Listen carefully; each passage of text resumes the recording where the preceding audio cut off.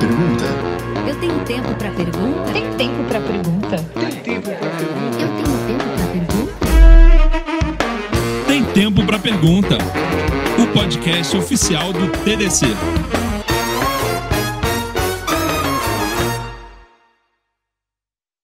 Hoje eu estou recebendo aqui com muito eh, orgulho e honra esse grande paraibano direto de Taperoá, lá da cidade de Taperoá, querido Silvio Meira, seja muito bem-vindo. Um grande prazer estar aqui. Com pipoca, banana e café. Exatamente, está fazendo um lanchinho, acabou de sair aqui do fórum executivo que a gente teve. Depois eu quero fazer uma perguntinha Aham. sobre isso também. Mas eu queria começar esse papo, Silvio. Todo mundo quer saber a tua visão de futuro, mas eu quero, eu quero ser diferentão. Eu quero falar do passado. Aham. Por quê? Eu olhei lá no- na, na tua bio e vi que você começou como engenheiro elétrico, né? Eletricista, eletrônico. Eletrônico, é. Isso. E como é que foi? Porque na época que você fez isso, não era uma lógica assim, você ir para computação, você fazer um mestrado e você foi. Não foi tinha vira- curso de graduação. Não tinha curso Não de graduação para isso. E como é que foi essa fase de sair da. Não sair, mas de continuar da engenharia em direção à computação numa época que isso não era. Não era o tópico principal, né? Como é que aconteceu? Cara, nesse agosto que passou agora, eu estava, há exatos 50 anos atrás, no segundo semestre da escola de engenharia. E aí eu escrevi meu primeiro programa de computador para multiplicar matrizes no IBM 1130 com 16K de memória. Aquilo foi tão transformador na minha vida que a partir daí todas as outras cadeiras de engenharia pura, que não fosse engenharia associada à computação de alguma forma, projetos de sistemas digitais, circuitos digitais, estudo de chips, 1973, 45, eu saí da escola em 77. A gente estava vendo a chegada do Intel 4004, do 4040, dos primeiros chips de portas seriais, assim por diante tudo que não foi diretamente relacionado a isso, eu tinha um interesse periférico, ou seja, a engenharia eletrônica que eu estava fazendo como engenharia eletrônica passou a ser Era para cumprir coisa, tabela. coisa né? de antenas, propagação, rádio, TV. Meu irmão, máquinas elétricas que tinha, para mim foi uma verdadeira Motores. tortura, motores. Porque quando eu descobri que eu sabia e queria fazer código e aquilo ali era uma espécie de uma era uma joy, era uma alegria fazer aquele negócio. Quando dava errado, né? Naquele naquele tempo é como assim, é como se dizer no passado distante. Naquele, tempo, tempo. você codificava em cartões perfurados e no máximo você compilava e executava para alunos da escola duas vezes por dia, né? Então você tinha que, que ser simular o código na cabeça e você tinha que simular aquilo, literalmente rodar no papel para garantir que a gente tinha muito mais cuidado com os algoritmos. Não era escreve enter, escreve enter para ver se está se tá rodando, né? Mas para mim foi isso. E daí eu saí da escola de engenharia direto para fazer um mestrado em computação, em redes, protocolos de redes abertas entre 78 e 81. E aí eu já me envolvi com a montagem do DEC 10 da Universidade Federal de Pernambuco, que foi o primeiro computador grande que teve no Recife, basicamente. Já a era um partir ali de supercomputador 78. ou, Não, ou era, era um DEC de grande 10 porte? com era um mega de memória. Um mega de memória em 1979 Era um negócio- era imenso, pô. Não, botava o homem na lua. Era o maior, mu- botou muito mais, né? O homem, o homem pra lua foi com muito Foi com menos, menos código. coisa, né? Menos código e menos memória e menos capacidade computacional do que isso. É, e eu, quando acabei, apareceu a oportunidade de fazer um doutorado na Inglaterra. Eu fui fazer doutorado na Inglaterra, fiquei num grupo extremamente interessante de programação funcional no começo da década de 80. Então eu aprendi lá muita coisa que a gente veio usar na década de 2000, 2010. É, e, e foi a história. É, e, a Foi- pesquisa foi veio, e a pesquisa veio ao natural, assim, como era um pioneirismo ali, muita coisa precisava ser construída. Tudo era você, novo. Você enveredou na pesquisa É, e começou tudo- a produzir. Tudo era novo e tudo era, era assim, tudo era descoberta, né? Você, você não tinha pesquisa em rede como você tem hoje, né? Você publica um paper relevante hoje, ele é lido por milhares de pessoas entre hoje e amanhã que te dão feedback quase imediato. Ah, você ter uma ideia, quando eu voltei da Inglaterra para o Brasil, eu era coordenador de grupo de pesquisa no começo, depois eu fui coordenador da, da pós-graduação. Eu viajava à Inglaterra, vez por outra, quando tinha um congresso, comprava malas lá e depois pagava um absurdo de excesso de peso para trazer livros científicos da Foyles, uma livraria fantástica em Londres, é, para pós-graduação. Eu trazia o livro na mala, porque se você fosse importar, levava meses, às vezes muito mais de um ano, porque tinha todo um protocolo de verbas, importação, escambau. Então era, era, era outro mundo, era uma espécie de um faroeste é, calmo, mas calmo demais.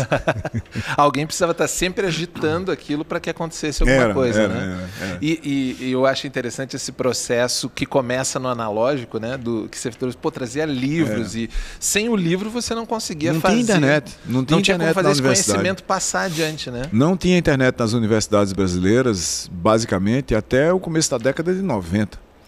Ah, o projeto da RNP começa ali entre o fim, a Rede Nacional de Pesquisa, começa ali entre o fim da década de 80 e a década de 90. E quando a internet chegou, por exemplo, a primeira, a primeira conexão internet na Universidade Federal de Pernambuco tinha 256 kilobits por segundo para a universidade inteira. Era basicamente e-mail. Não dava para transferir arquivos. E tinha que entendeu? ter uma hora para arquivo galera botar o continuava vindo com fita. Não, essa daí era até uma conexão fixa. fixa. Mas era 256K. Algum tempo depois, quando passou para um mega, a gente soltou fogos, né? Mas quem queria usar, tinha que usar de madrugada, né? Porque imagina uma universidade com 3 mil professores e 35 mil alunos com 1 mega. Fazer uma pesquisa Ah, é absolutamente impossível. era uma carta rápida. Basicamente era uma E-mail. E-mail, Era e-mail, basicamente, sem rápida. imagem. No podia. attachment. No. Mas aí uma coisa interessante sobre isso, né, Silvio? Tem, tem todo esse progresso e o Brasil tem uma característica muito específica no que tange a expansão da internet. A gente teve a banda larga muito mais recente ainda, só que era uma banda larga cara, né, mal Uhum. distribuída e até há quem diga que até hoje ainda é muito mal distribuída. Você na prática você tem dificuldade para em determinados lugares conseguir uma banda larga para sua empresa, para sua casa. E o Brasil ele, ele expandiu demais esse acesso a essa comunidade de conhecimento através da mobilidade, seja através de celular. Você acha que isso impacta na forma que a população enxerga a tecnologia, até para justificar um gap que eu, eu uso tecnologia, tecnologia do, me- do meu dia a dia, mas na hora de escolher a, a profissão que eu quero fazer, eu quero ser médico, eu quero ser advogado, eu quero ser engenheiro. Bora lá. Várias coisas aqui. É, face às falhas do espaço regulatório, que na realidade faz com que um número dos incumbentes em muitos lugares não cumpra suas obrigações é, concessionárias, né? O Brasil talvez tenha, não sei, mas talvez tenha um dos maiores números de provedores locais de internet do planeta Terra. São 18 mil provedores no Brasil. Locais. É, provedores locais. Provedores que servem a pequenas cidades como a minha Taperoá. Taperoá tem três provedores de internet. Três. Em Taperoá você consegue 600 megabits por segundo na sua casa ou no seu comércio abaixo de uma hora, porque eles estão lá, a cidade é toda cabeada em fibra ótica. Então esse é um mistério da conectividade brasileira, que por exemplo a periferia de Itaperuá é muito melhor conectada do que a periferia e partes do centro de São Paulo. Basta ver a dificuldade que você terá para conseguir 500 megabits por segundo em alguns lugares daqui, eh, da capital econômica do país, no meu Recife, eh, se você sair das zonas de cobertura de fibra. Então a gente tem essa coisa no Brasil, primeiro de você ter essa, essa diversidade e essa cobertura feita por provedores locais que fazem basicamente com que, e eles começaram isso de uma forma heróica, com equipamentos eh, montados de qualquer jeito, via rádio e assim por diante, mas ah, você tem cobertura na zona rural, basicamente, do Nordeste inteiro hoje e cobertura de 30, de 40, de 50 megabits por segundo a preços que podem ser pagos. É um negócio. É, e é um mercado inteiro. Por outro lado, você tem é, no Brasil. É, 81% dos brasileiros com mais de 10 anos de idade têm um smartphone e uma conta de dados de algum tipo. Nem que seja uma conta de dados 0800, aquela que está limitada, Limitada ao uso de algumas redes sociais, alguns fluxos assim por diante, que é também um absurdo e é um buraco no nosso espectro regulatório. Que é anti-marco, É, eh, marco que é anti-marco civil. e que acabou ficando, que ninguém conseguiu mexer e que, eh, de uma certa forma, jogou pessoas, muitas, em bolhas de informação dentro de certas e determinadas redes sociais. Ok, mas aí veja, tudo depende, essa coisa das pessoas escolherem o que fazer, de onde você está também. O Brasil é muito diverso, é muito grande. Ah, a gente começou o Porto Digital no Recife como um esforço de política pública para criar um cluster de tecnologia de informação no centro da cidade e fazer três coisas. Primeiro, recuperar a região do porto, que com o porto indo para o sul, para um porto de muito maior calado, muito maior porte, obviamente a região central da cidade implodiu. Tudo Sim. que existia lá se viu o porto. O porto foi embora. Acabou a cidade. Foi embora a cidade. Mesma coisa aconteceu na Argentina, em vários Sim. lugares, aconteceu no mundo inteiro, em vários lugares. Então, primeira coisa é recuperar o centro da cidade. Como? Trazendo pessoas para o centro da cidade, para trabalhar lá. Ocupando. E né? depois, eventualmente, para morar lá, um processo que a gente está começando agora. Mas para trabalhar em quê? Trabalhar em tecnologia. Vamos atrair e criar e manter e evoluir empresas de tecnologia. Começamos em 2000 no dia 2 de fevereiro, dia de Emanjá, 2000, para dar sorte, obviamente. claro. É, com cinco empresas e 46 pessoas. Uh, todo ano a gente conta, porque há um certo conjunto de mecanismos que faz com que as empresas se registrem para ter isenções de impostos e auxílios e uh, subsídios e investimentos em inovação, formação e evolução se do capital humano. Então a gente isso, a gente tem todo um processo de saber quem está lá e quantas pessoas são empregadas pelas Hoje, 360 empresas que estão, estavam lá, a nossa última a medida foi em dezembro de 2022. 360 empresas com 17.500 pessoas e o terceiro maior cluster da economia do Recife, abaixo de Saúde, Recife tem o segundo maior polo de saúde do Brasil, e construção civil. Fantástico. Tecnologia é o terceiro lugar. E tecnologia, Porto Digital. Só o Porto Digital e nem toda a tecnologia do Recife está nessa região do Porto Digital, no antigo Porto é, do Recife. Aí veja o que acontece. Quando você olha para os cursos mais demandados do Recife, olhando pela nota de corte, a menor nota de entrada no curso, o primeiro lugar é Sistemas de Informação no Centro de Informática da Federal. O segundo lugar é Ciência da Computação, no Centro de Informática da Federal. O terceiro lugar é Medicina. O quarto lugar é Engenharia da Computação, no Centro de Informática da Federal. O quinto lugar é Direito, com uma boa probabilidade de cair dos cinco primeiros. Uhum.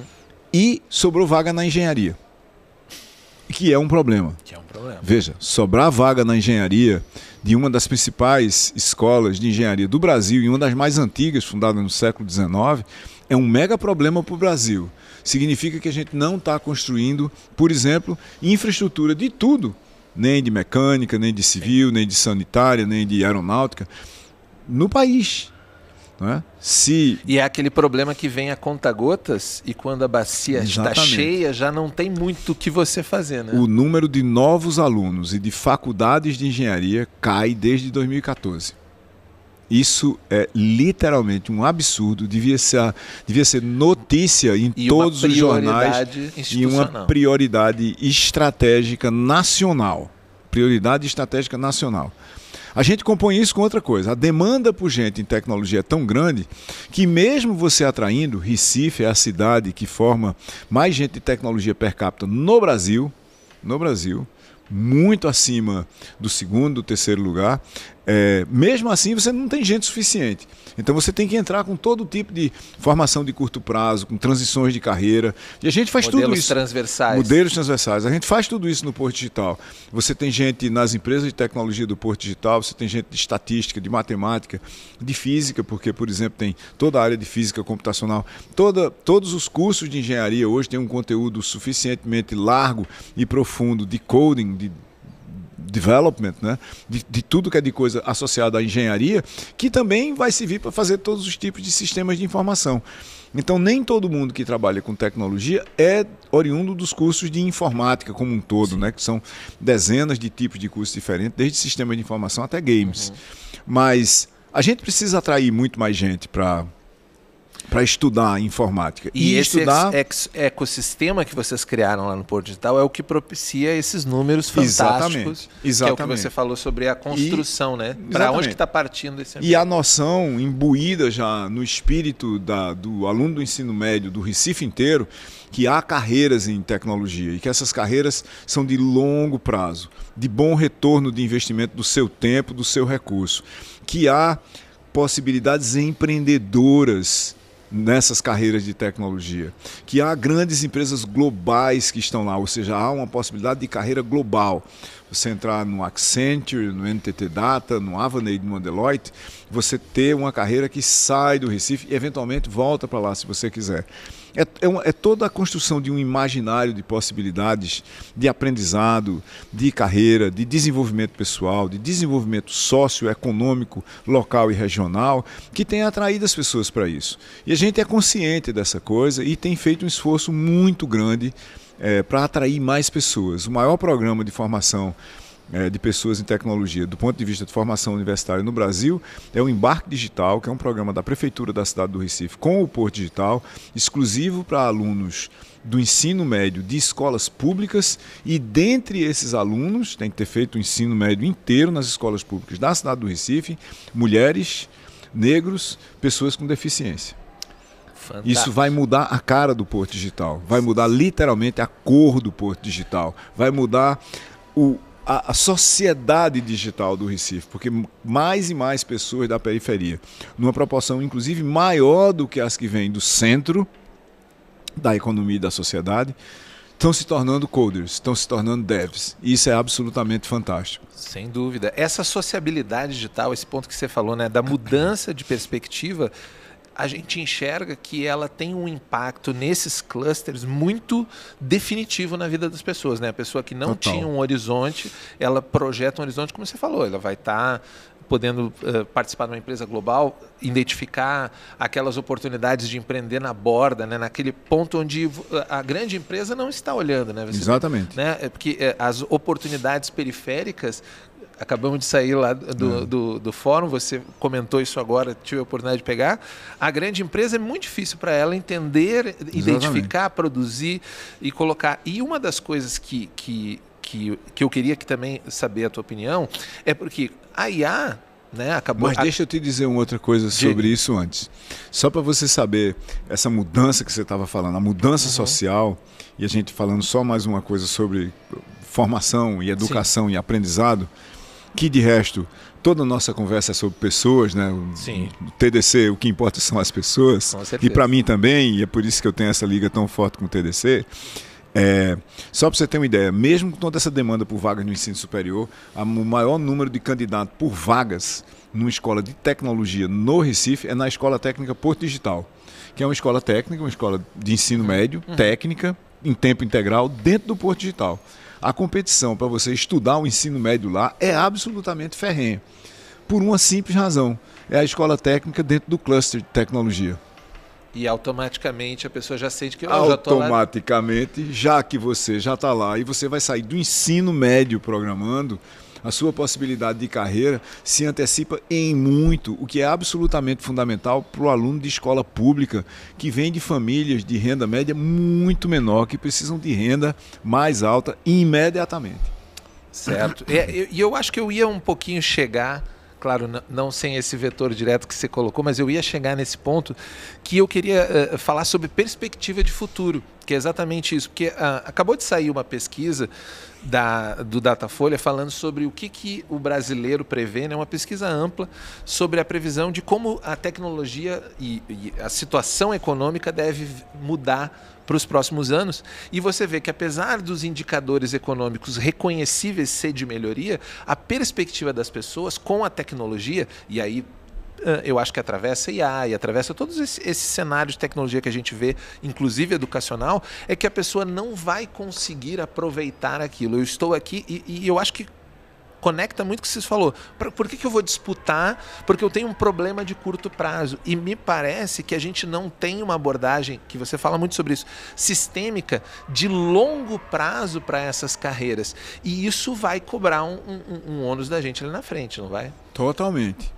Mas eu não tenho nem o que comentar sobre o que você disse. A resposta é sim, totalmente, absolutamente e absurdamente. Como que a gente reverte esse, esse conjunto tão complexo de, de contextos empilhados uns em cima dos outros? Veja, é, tem uma coisa aqui. Como que a gente atraiu tanta gente para estudar tecnologia no Recife? Criando o imaginário, a perspectiva e a objetividade da carreira redesenhando os cursos universitários por curto prazo para os alunos que vêm da periferia, para eles terem uma perspectiva de renda no curto prazo, fazendo com que esses currículos redesenhados nas universidades e escolas superiores fossem feitos em conjunto com as empresas e desde o primeiro semestre o aluno tivesse uma disciplina dentro da empresa. A vasta maioria dos alunos é estagiário das empresas onde faz uma disciplina no terceiro período e está contratado antes do fim do curso. Ou seja, é muito e rápida a transição. Muito rápida a transição. Então, nós precisamos conectar a, o processo de aprendizado com a realidade socioeconômica objetiva e incontornável das pessoas. Eu acho que uma parte do medo de todo mundo, de, essa oportunidade está aí, eu não vou conseguir participar dela, é também porque o processo de aprendizado, o que a gente chama literalmente do processo de formação, e não deveria ser um processo de aprendizado, ele é desconectado da realidade dos mercados. Então eu corro risco, se eu não souber exatamente para onde eu estou indo estudar e o que é que eu estou indo estudar no lugar onde eu estou estudando, eu corro risco de fazer um curso superior e acabar em não ter trabalho. Porque eu não, não entendi exatamente para onde Porque eu estava indo quando você eu comecei. não saiu de lá preparado para o que o mercado precisa. É isso que a gente está redesenhando no Porto Digital e, de uma certa forma, exportando para fora do Porto Digital.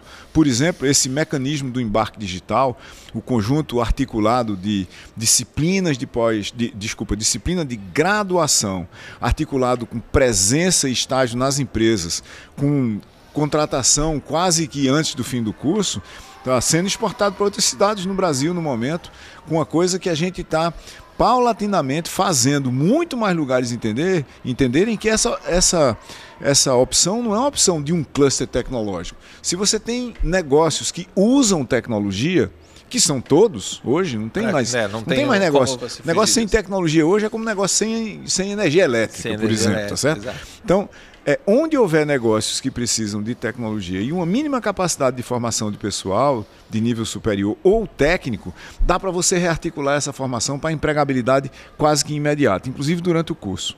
E é isso que eu acho que precisa ser feito. A gente precisa trazer não só a universidade mais para perto das empresas, mas as empresas muito mais para perto da universidade. A gente tem que fazer a academia, por exemplo, entender que uma das funções da academia é fazer com que o processo de aprendizado leve diretamente ao pagamento de boletos. Os seres humanos são animais perseguidos por boletos. A gente não está no topo da cadeia alimentar, entendeu? Não, não somos, tá é estamos acima dos tubarões. Tem os tubarões, nós e os e boletos. boleto. Então, primeira coisa, você precisa pagar boleto. Todo mundo precisa pagar boleto. E a gente tem que conectar, e eu acho que é preciso conectar mesmo as formações e educações superiores e técnicas de todos os tipos. Eu estou falando de filosofia, de pedagogia, de sociologia, de política, de ciência política, de história, do que for a articulação socioeconômica ao redor dela. Porque diploma já não vale mais nada. Sim. O que vale é capacidades, que é a combinação de competências, o saber, com habilidades, o saber fazer e o conhecimento do contexto e seus problemas. O entendimento de como usar conhecimento e habilidades para resolver problemas. As universidades têm que entender isso, as escolas superiores e técnicas e o ensino médio também, porque é isso que as pessoas precisam. E a formação cidadã, se você me perguntasse, mas e a formação cidadã? A pessoa capaz de entender o mundo.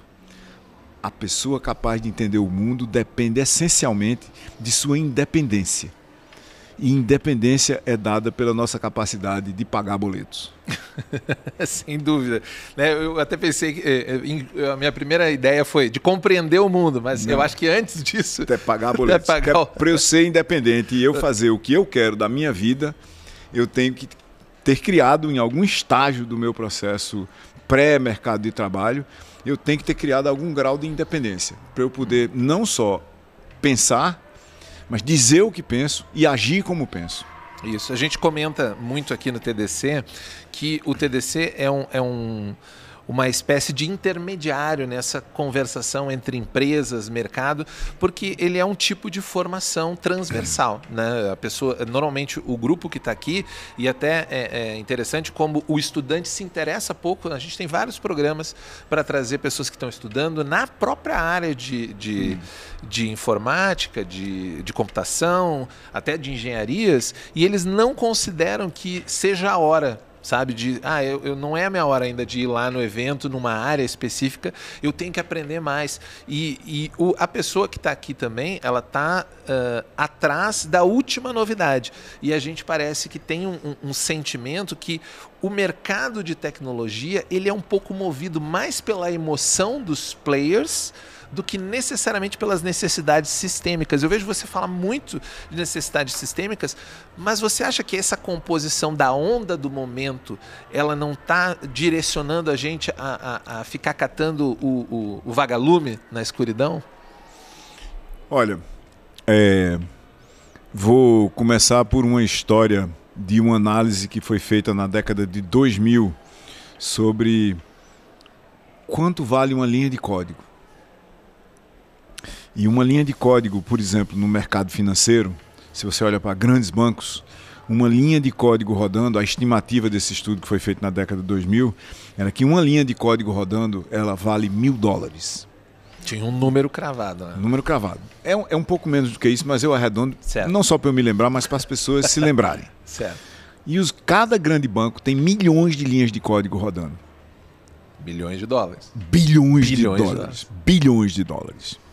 E o que, que isso quer dizer? Isso quer dizer, por exemplo, que se você soubesse linguagens de programação legadas agora, que não são fashion, não estão na moda, não são hype do momento, não tem o buzz, você tem vaga garantida, porque ninguém vai sair escrevendo um stack que vale, vamos imaginar, 100 milhões de dólares do nada.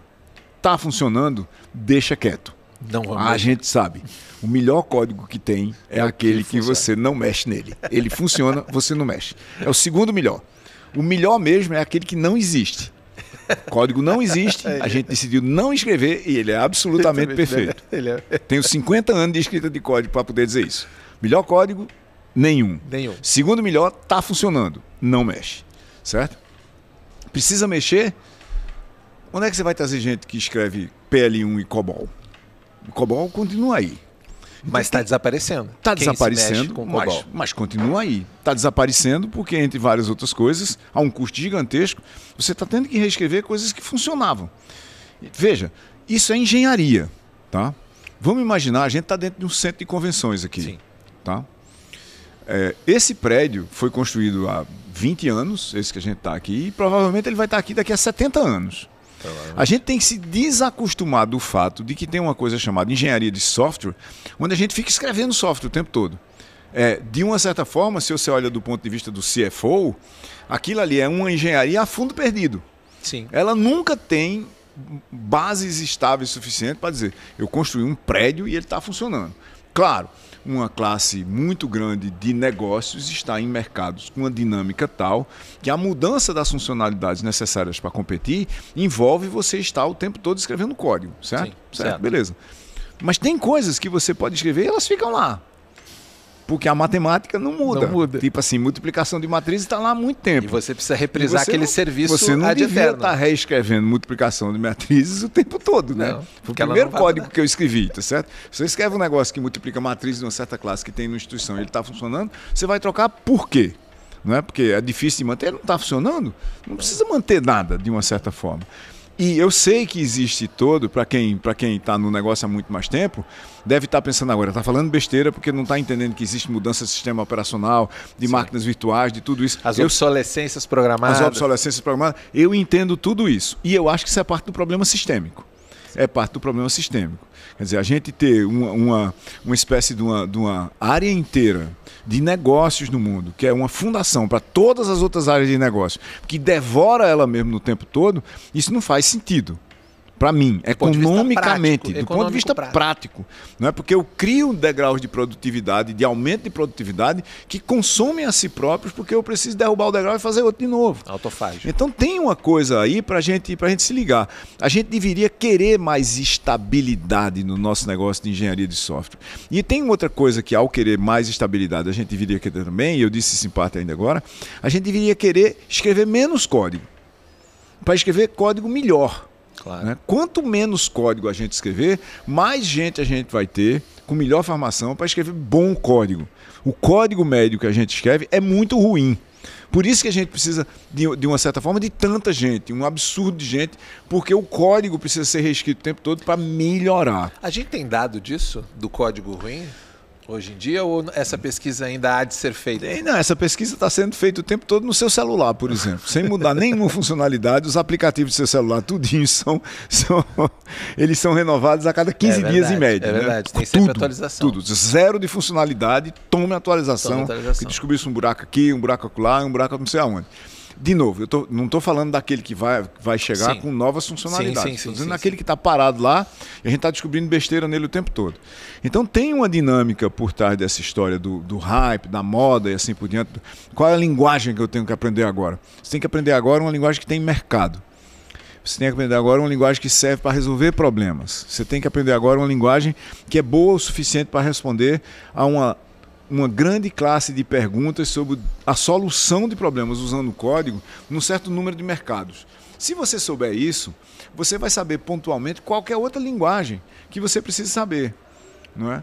Quem sabe programar C muito bem, se aparecer uma coisa exótica orientada a objetos em real time misturado com funcional amanhã, ele vai saber usar. Sim. Quem sabe usar C muito bem, pega uma linguagem, uma linguagem como Ballerina, que é uma linguagem feita para programar o web, para programar APIs e assim por diante, e, e em horas entende o conceito inteiro e daí é só capturar o resto da sintaxe, né? Porque a abstração original ele A tem. abstração original está lá, que é lambda cálculos, máquinas de Turing e assim por diante. E a gente tem que se lembrar de uma outra coisa. É, tem uma coisa para a gente olhar para os grandes negócios de tecnologia. Quem é que está por trás do código de busca de redes sociais, de inteligência artificial que a gente usa? São PHDs que escrevem código. São PhD devs, ou dev PhDs. O que, que esses caras sabem? Eles sabem profundamente as fundações daquela área do conhecimento. Eles sabem profundamente dos algoritmos, das estruturas de dados e suas complexidades para determinadas aplicações. Eles foram até o fundo do poço para entender aquilo pela raiz. As teorias fundamentais, as leis fundamentais, os teoremas fundamentais, seus lemas, corolários e assim por diante. E no topo disso eles escrevem código. E o código que eles escrevem não fica mudando todo dia, porque é código de fundação da sociedade. Então a gente deveria olhar para. Eu, eu vou aprender alguma coisa de, de computação? Vou. Qual é o fundamento disso? Quais são as fundações disso? A quantidade de gente que eu conheço, pessoalmente inclusive, que está escrevendo sintaxe de código e não resolvendo problemas com código é muito grande. Assustadora. Tipo, deixa é assustadora. Tipo, deixa que eu resolvo. Abro o laptop e começo a escrever códigos. Mas qual é o algoritmo que você está usando aí? Senão a gente está pegando daqui, levando para lá. Você sabia que tem um algoritmo padrão para resolver isso? Que tem uma complexidade mínima, não é? que vai economizar tempo de CPU, aumentar a velocidade de resposta, diminuir o uso de recursos computacionais. Isso Diminuir é a energia, que é um tópico Di- agora. né? Pronto. Diminuindo o recurso computacional, você diminui a energia. A gente precisa entender que o que a gente está falando aqui, essa é The DevConf of Software Engineering, tem uma engenharia nisso. Né? Tem uma engenharia. Engenharia tem fundamentos, pô. Você não sai para fazer um prédio dizendo, pô, então vamos jogar um bocado de tijolo, cimento, areia e ferro aqui como é que e vamos molhar depois e a coisa acontece. não é assim, tá certo? E a que gente começar tem, pela fundação. Tem, um- tem um pouco mais de bom senso. E esse bom senso é pelas fundações. A nossa área tem fundações teóricas extremamente sólidas. Por isso que, por exemplo, tem muita gente que diz: ah, eu não quero nada a ver com blockchain, não, porque é complicado. Não, não é que é complicado. É que tem algoritmos e estruturas de dados lá que as pessoas não querem entender profundamente. Mas na hora que você entende, é trivial. É uma classe de algoritmos com uma classe de estruturas de dados que gera um conjunto de protocolos que formam uma rede, pô. Não tem mágica nisso. Agora, você precisa sentar na cadeira e dizer, bom, como é que é esse negócio aqui, realmente, qual é o tipo Vamos de estrutura de estudar isso dado aqui. que tem por trás disso? Como é que eu Vamos insiro ou eu retiro alguma coisa nela? Como é que eu faço que ela não seja mutável, a menos que todo mundo concorde? E como é que isso encaixa no que eu estou E fazendo? como é que se encaixa num problema que eu tenho? Porque senão aí vira o hype, a moda que você está dizendo, entendeu? De repente, tem até um cartoon né, que, que eu vi no começo do hype de blockchain. Tinha lá churros, uma barraca de churros, não tinha ninguém. Aí tinha churros on the blockchain. Aí porrada de gente lá, porque era churros com blockchain. Não pode, agora é a mesma coisa com IA. Aí você tem lá, solução de problemas, está resolvendo perfeitamente. Aí tem a mesma coisa, solução de problema com IA. Não é assim, a gente tem que olhar e dizer o seguinte: onde é que IA vai fazer a diferença? IA vai fazer a diferença em multiplicação de matrizes? Vamos imaginar que faça. Se fizer, vamos usar lá. Porque se lá não tem fizer, problema. Se não fizer, multiplicação de matrizes está resolvido sem IA. A gente Não precisa botar resolver, IA em não tudo. vou mexer lá, né? Não é? é eu, eu adoro chocolate. Aí eu vou comer uma picanha, De boto um molho de chocolate em cima. Tomar café com chocolate também. Fica tudo com gosto de chocolate, deixa de valer a pena. Bacana. Eu teria um monte de perguntas mais para você, Silvio, mas eu tenho uma banana e você tá tem uma banana aqui. e você E tem eu tô uma morrendo de banana. Para terminar e ainda muita coisa para fazer. O seu tempo é extremamente valioso, mas eu não quero que você saia daqui antes para a gente se encaminhar para o final sem responder uma pergunta que tem correlação direta com aqui o lugar onde a gente está, que é essa questão do evento de tecnologia, né? Eu sei, eh, você já é nosso parceiro, foi o grande incentivador da nossa iniciativa do TDC no Recife lá, com a, a gente fez a nossa última edição, o primeiro evento híbrido paralelo em duas cidades, né, conectado através do, do digital. E a gente, nesse evento, você participou do nosso, digamos, o nosso terceiro passo quase dentro dessa expansão de visão para um evento que é o Fórum Executivo. E eu queria saber o que que você, o que que trouxe a tua motivação quando a, a gente chegou lá e te mandou Bora participar? Você, bora, eu quero estar lá, vou lá, vou participar, vou estar no debate, quero falar com essa gente. O que, que te trouxe, qual a importância que você vê num fórum executivo de tecnologia nos dias de hoje, né? Eu acho que a primeira coisa é a gente, a gente sair para o mundo, né? Uma DevConf ah, fechada para devs é uma espécie de um clube, né? um clube fechado, cheio daquela história de não vamos, não vamos deixar ninguém entrar aqui, que é para eles não contaminarem a nossa conversa. Mas a gente tem que se abrir para o mundo. Eh, a gente, obviamente, não vai transformar o TDC numa conversa de business puro, não vai ser business por business. Mas é óbvio que tem uma coisa que não é segredo para ninguém, mas nunca, muita gente não entende a profundidade disso. Nos últimos 25 anos, a gente reescreveu a sociedade em código. E escreveu partes dela que não existiam ainda, que só são código, do zero em código. Qual é a consequência disso? A consequência disso é que os próximos CEOs das empresas vão sair do TDC. Não vão sair das escolas de negócio. Porque o negócio está escrito em código.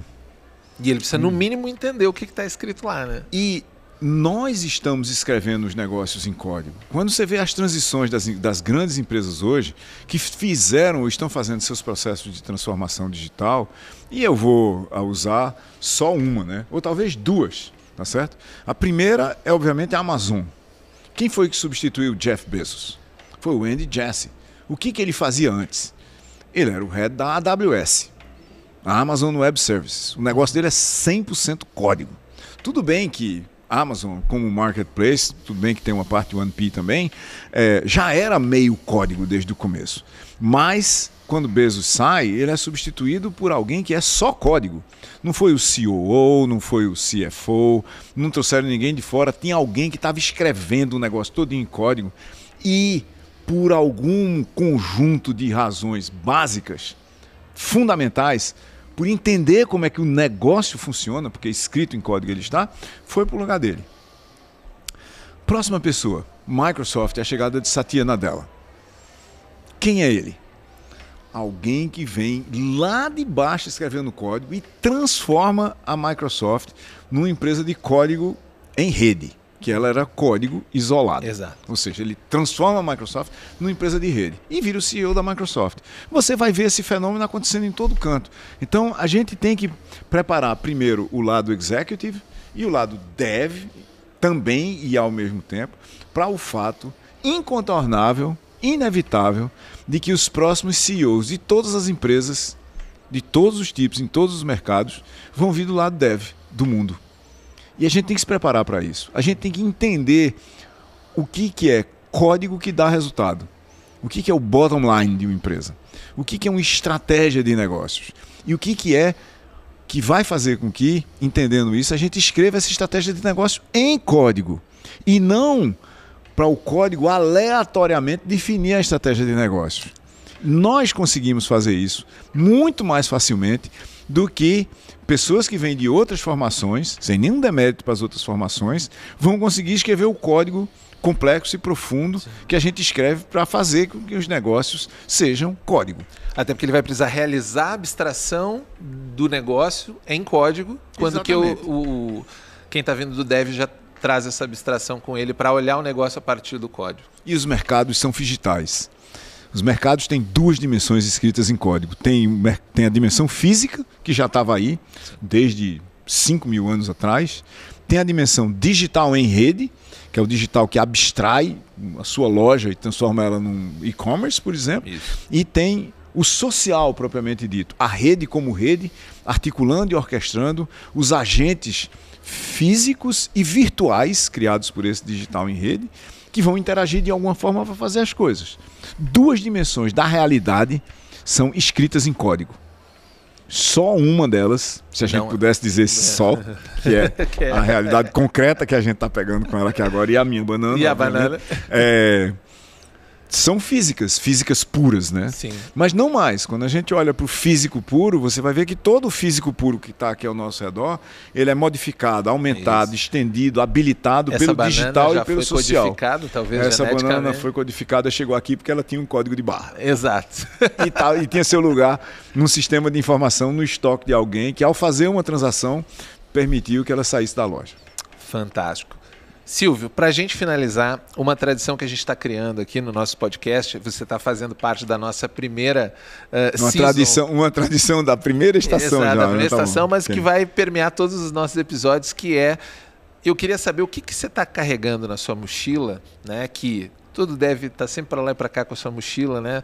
Com, com, mas o que, que você carrega lá que você acha que seria uma boa dica para o nosso uh, uh, ouvinte, que é o cara que é o desenvolvedor que está começando, que pode ser um livro, pode ser o filme que você está assistindo, a série, o documentário, alguma coisa que você acha que vai uh, arrematar um pouco, até abrir um pouco mais, porque hum. toda conversa, eu acho que conversas não são fechadas, né? A gente acabou de botar um monte de coisa para as pessoas discutir aqui. Então, o que, que você daria de dica uh, cultural aí, livro, filme, para a galera que está nos ouvindo? Cara, dica de livro para a galera que está nos ouvindo. Agora, em outubro, no começo de novembro, vai sair um livro meu chamado O que é Estratégia, que é um livro escrito em código recursivo.